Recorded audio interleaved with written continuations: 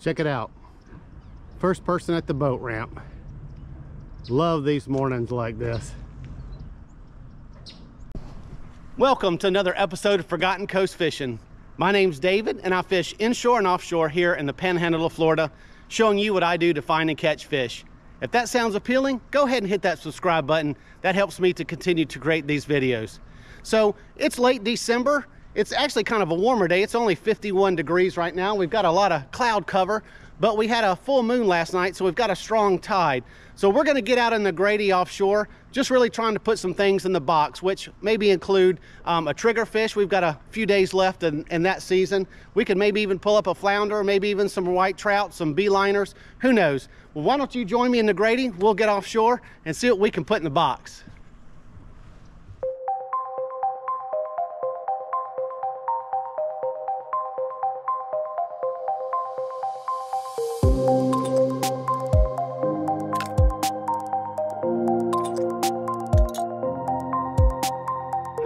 Right, we got up to our first reef, so I'm just gonna drop down some simple frozen pieces of shrimp on this chicken rig.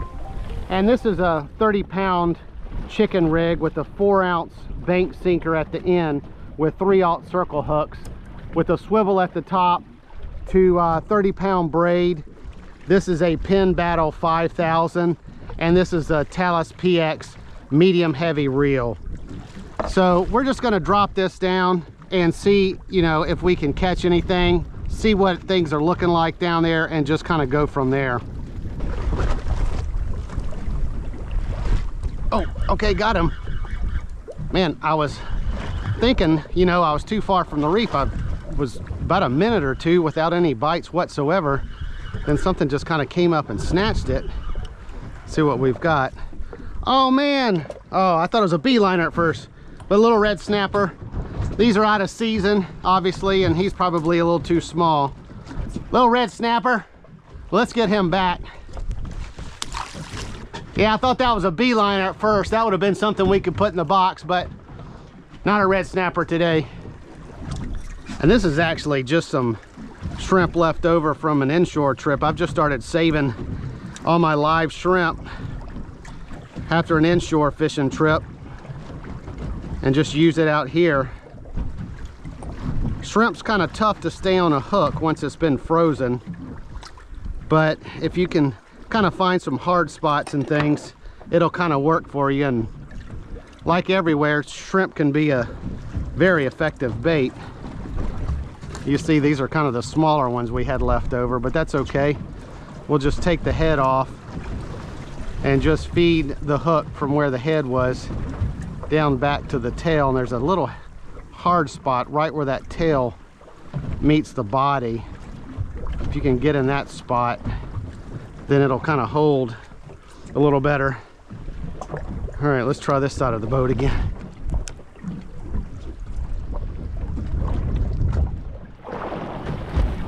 Okay got him again. That's encouraging. Second drop second fish. And what is this a tomtate not a little sand perch. Look at this guy. Got these nice fluorescent blue lines on them some yellow on them they're really long and slender. Oh, look at that. Pretty fish. All right let's get him back. Okay. Here's another one a little bigger than that sand perch but Third drop, third fish. All right, well, let's see what we got here. Oh, two. Oh, we got our sand perch again and a pigfish. Look at that. So we've caught three species on three different drops. All right, let's get these guys back. Okay, well, we know there's fish here. I'd obviously much rather catch something a little bigger and obviously something for the box than these little guys I'm catching. All right, so I'm at my second reef and I'm showing some good marks. This is just the shrimp on the chicken rig that I've been using. But on this line over here, I set out a, a circle hook jig. There's a tomtate. Just because I was seeing some stuff kind of midway up and that's going to kind of slowly fall. It's only an ounce weight, so it's going to kind of sink a little slower, but it's eventually going to get to the bottom where there are some marks as well. So just seeing if that'll pick up something on its own. But here's a little tomtate. You know, you could keep these for um, grouper, amberjack, big snapper, that kind of thing. I'm not gonna keep those because we're really not gonna target those right now. All right, so what I'm doing with this circle hook jig is I'm, I've casted it out and I've let out a lot of, a lot of line because I wanna let it sink since we're in uh, 70 feet of water. So I wanna, you know, eventually get it to the bottom instead of just kind of coming back and hanging on the bottom of the boat. So that's why I wanna put a lot of line out so it'll reach the bottom. And so what I've got on this, on this circle hook jig is a, a half of a, a cigar minnow. All right, so we'll keep an eye on that and we'll get back to this chicken rig. I always like to put out a couple things, especially when I'm by myself, kind of get something out there that can kind of sit, you know, while you do something else um, actively. And that'll just increase, obviously, your chances for some fish. All right, so Here's something a little better, I think, on this chicken. Oh, yeah. It kind of gave up a little bit. Let's see. All right. Oh, a lane snapper. We got something for the box, everybody. This is a nice one. Now, lane snapper don't usually get really big, and this isn't the biggest one out there, and I've caught a little bit bigger before, but this is a nice lane snapper. Nice lane snapper. These are really good really good eating. So let's get him in the box. They've got some really nice colors on them that yellow stripes and the orange and the red. Just beautiful looking fish. All right oh. See if we got this fish too. All right i think we got him. All right we got him. We got him. Here comes some drag and everything. All right so this is a pretty hefty piece of cigar minnow. So hopefully it attracted something on the larger side. He doesn't really feel monstrous by any means. But like i was saying get a couple things out if you can just to increase your chances. So we caught that lane snapper and immediately got a red snapper but like i said earlier he's not in season we won't be able to keep him he might have made the legal limit as it is, but he's not in season. So we need to let him go. All right, well, we got some action here, that's for sure. All right. And this shrimp is deadly. Every single drop is a fish. Not monsters, but a fish. I was kind of hoping for maybe another lane, beeliner, triggerfish, but not a red snapper. Not this time of year anyway.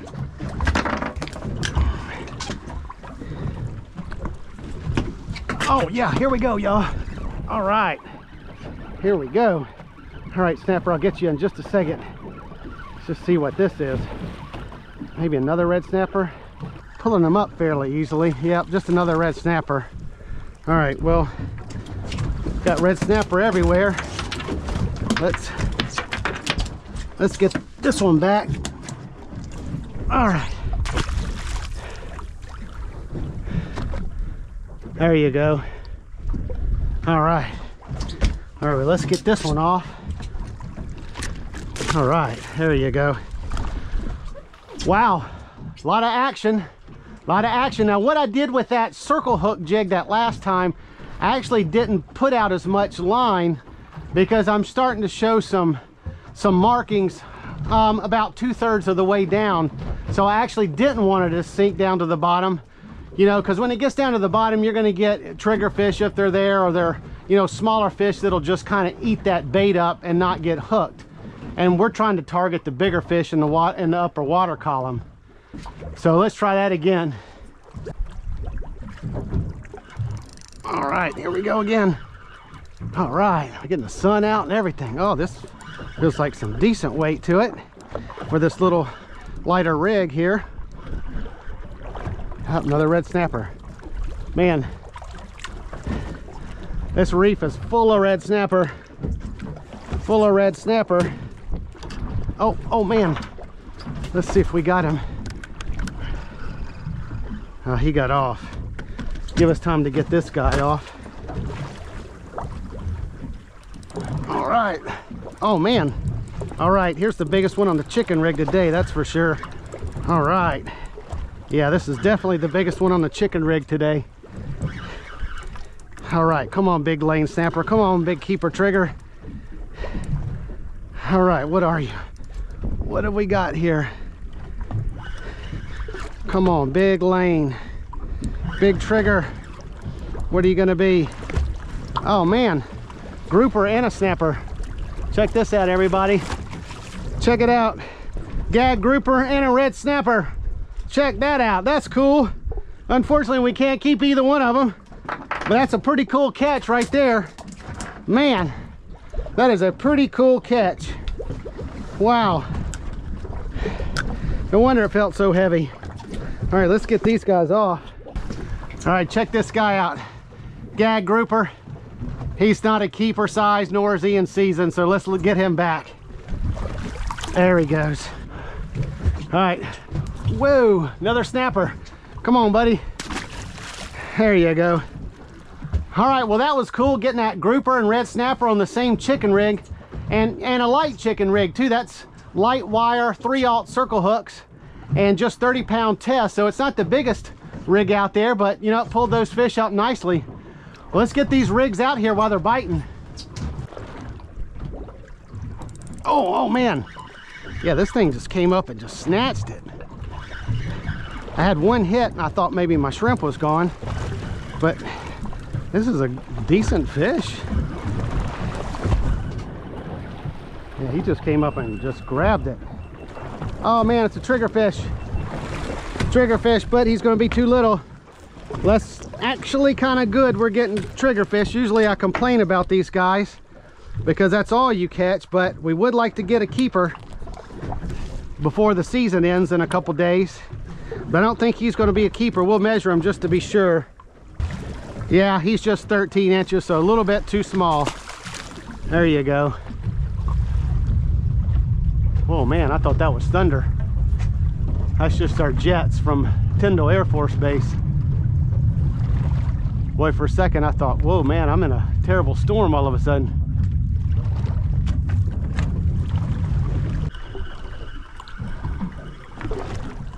This was my first drop without catching a fish on this chicken rig. And it's 11.33 in the morning. And I've been fishing uh, for about three hours or so. And he just got my, I, you know, and I could have left it even longer because look, I still had a piece of shrimp on the top one. I just got anxious. All right, here we go. Oh man, we got him this time. Yeah, these fish, assuming it's a red snapper again, and just come up and just snatch this. Just out of the blue, bam, you got him.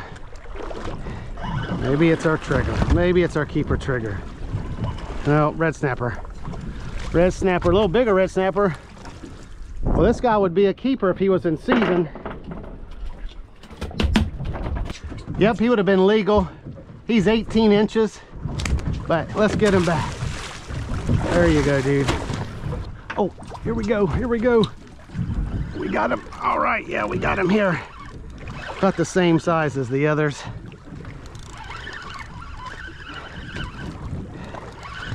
Maybe a touch oh yeah maybe a touch bigger.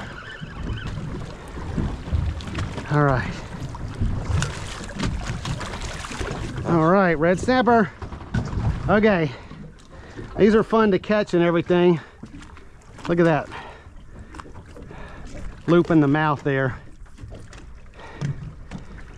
That's why you want to keep pressure on these guys.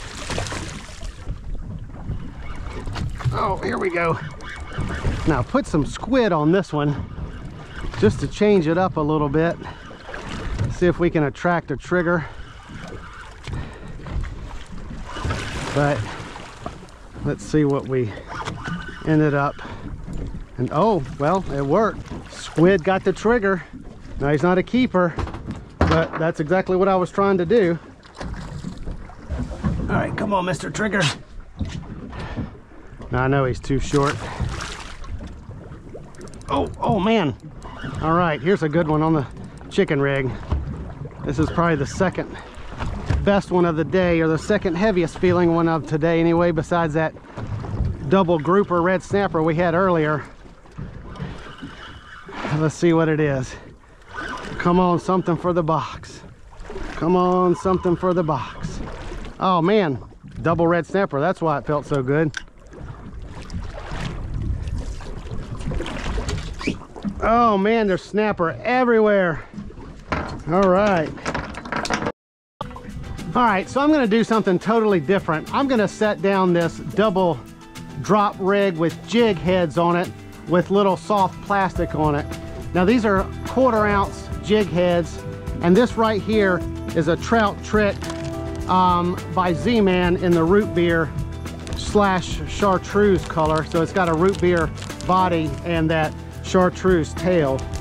And then on the other one, I've got this four inch Z-Man scented paddle tail in the Houdini color, um, scented PaddlerZ. So we're just gonna kind of drop this down. It's gonna take a minute or two to get down to the bottom. We're showing a lot of good marks. I'm just gonna kind of jig this, kind of like a vertical jig. And I don't know what this will catch, but you know, there are white trout out here in different places and flounder. And it could pull up this red snapper. I don't really know. I just kind of want to give it a shot and see what kind of inshore tackle can do down here in this uh, depth of water. Oh man, right off the bat. oh, oh man, oh look at this.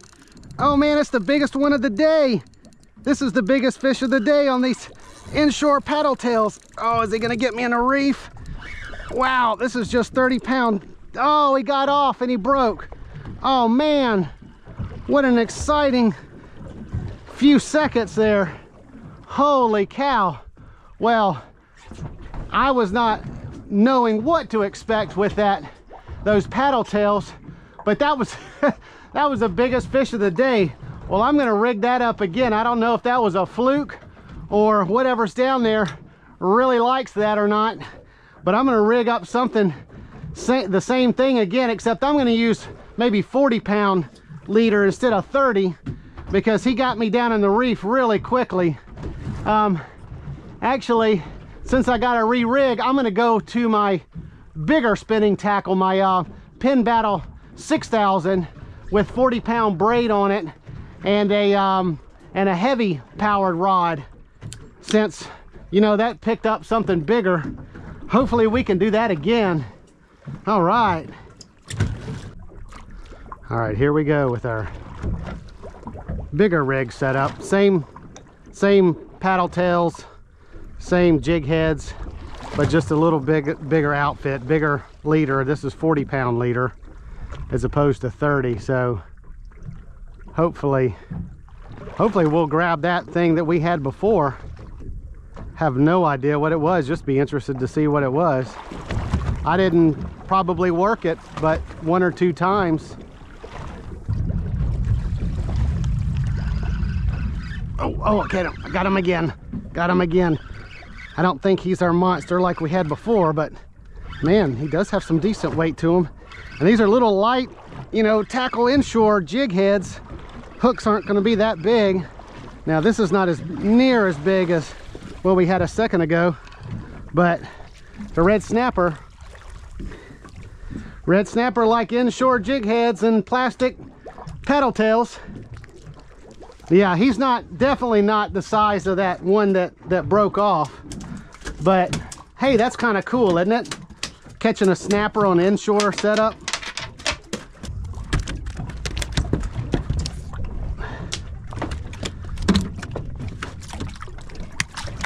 there you go. He'll get down there one way or the other. Interesting though he got the um the white paddle tail and I put two different colors on there just because I wasn't sure. You know obviously a light colored and then a dark color but this was the one that's on the bottom too so that may play some role into it. I'm not sure but let's let's give it a shot again. And now what I'm doing you know since this is just a total half ounce weight between the two quarter ounce jig heads, you know, they're going to sink real slowly, especially in this deeper water. So I've given it a lot of time to sink to the bottom. The reef's kind of over here somewhere, so I kind of cast it that way, let it sink down, and then once it kind of gets tight, I'm just kind of pulling back and then letting it sink. And then once my line kind of gets tight again, I'm just gonna pull again. So that's just gonna kind of have those lures kind of popping up, you know, and slowly coming down and popping up and slowly coming down. And uh, hopefully that'll attract another fish here. Oh, oh, I got him. All right. All right. Yeah, another decent one. Another decent one, that's for sure. All right. I worked, started working it a little faster, but I still want it, you know, to sink. So I wasn't too much faster, but I was working it a little bit faster, and I don't know if that played any difference. Another red snapper. On the white paddle tail again, the Slam Shady Z-Man paddle tail. All right, I hate to leave fish biting, but I'm gonna switch to another reef just because all we're catching really for the most part is red snapper and you know we can't keep them there's no point in bringing those guys up caught a couple trigger fish but doesn't seem like there's a whole lot of them down here and they were all kind of small so we're gonna make a move and we'll see at our new reef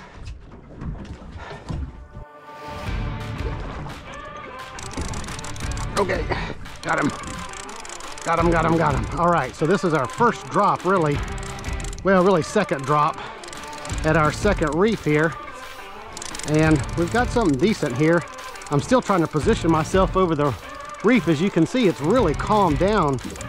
And I'm not getting, you know, much drifting because there's, there's not a lot of wind to push me back. So it's taking me slow, long time to get on the reef. But moved out another few miles and we're still getting red snapper. Look what showed up. These are beautiful creatures and everything, but once they show up to your boat and you start catching fish, they're gonna rip your fish off the hook. And it's really hard to get fish in.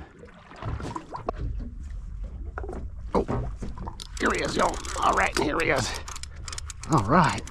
Now, dolphin seems to be kind of far off, so I don't want to hoss these guys up unless I have to because, you know, you can often tear their mouth working so hard to get them up.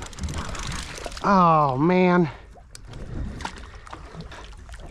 I hate to complain about red snapper, but kind of starting to complain about red snapper. Oh, look, here they come.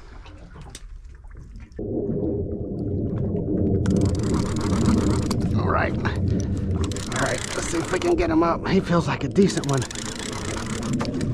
Mm, yeah, he feels like a decent one. Oh man, if we don't get that dolphin, because when they're heavier like this, takes more work to get them up, more time to get them up, and it gives the dolphin a little more chance to get over here. Oh man, it's our trigger fish. Oh, let's see if he's a keeper. Oh man, that would be great if he was our keeper. I think he's gonna be our keeper. I think he's gonna be our keeper. All right, we managed to get him up past the dolphin. All right, we got our 15 inch triggerfish. Well, let's get this guy in the box. And we managed to keep them away from the dolphin who are just right there. You can see their wake. Well, that was a feat in itself, getting this guy up. Okay, all right, here he is again. No, another decent one. Oh man, here comes a dolphin. Oh, I don't I got a lot of time. Oh, I don't have a lot of time. Oh man. Oh, come on. We can get him up. Oh, can we get him up? Oh man. That was a shark. Holy cow, we barely got that. Man. We barely got this trigger up. Jeez. I was worried about the dolphins. Man, there he is right there. Look at that shark.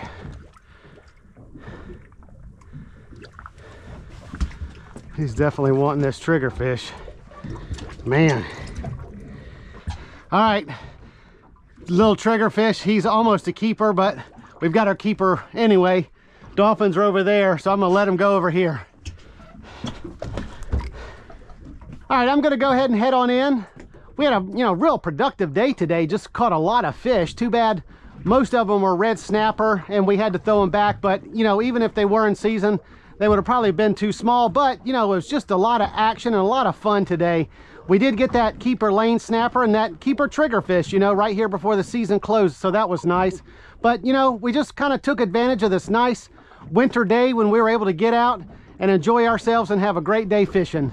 So if you enjoyed this video, give me a thumbs up and consider subscribing to this channel. It really helps me to continue to create these videos. So until next time, I hope to see you on another episode of Forgotten Coast Fishing.